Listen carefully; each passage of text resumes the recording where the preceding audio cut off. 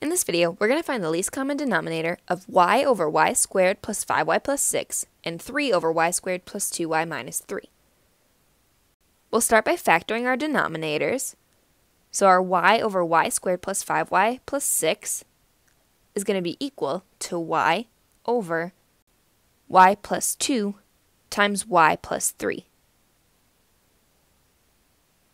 And with our other fraction, our 3 over y squared plus 2y minus 3 is going to turn into 3 over y plus 3 times y minus 1.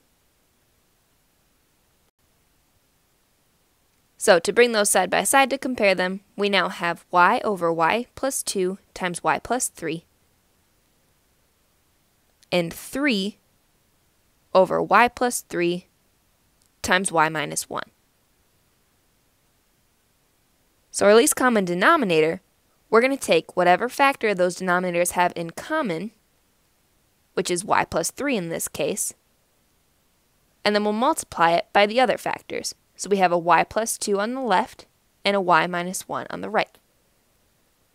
So our least common denominator is y plus 3 times y plus 2 times y minus 1.